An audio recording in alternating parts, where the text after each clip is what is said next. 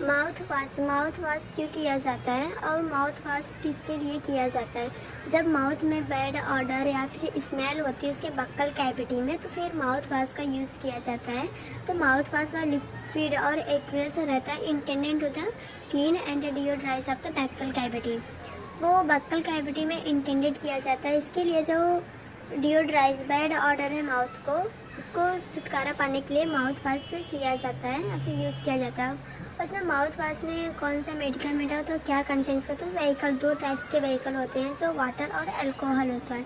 और इसका use for the deodorant and refreshing of the antiseptic action और वो एंटीसेप्टिक एक्शन के लिए यूज़ किया जाता है, और वो कंटेंट्स करता है एस्ट्रिंजेंट और एंटीबैक्टीरियल एक्शन एंड प्रॉपर्टीज़ वह बैक्टीरिया को किल करता है और एस्ट्रीन मतलब जो हल्का माउथ वाश यूज़ करने से हल्का चुनचुनाहट की तरह फील होता है।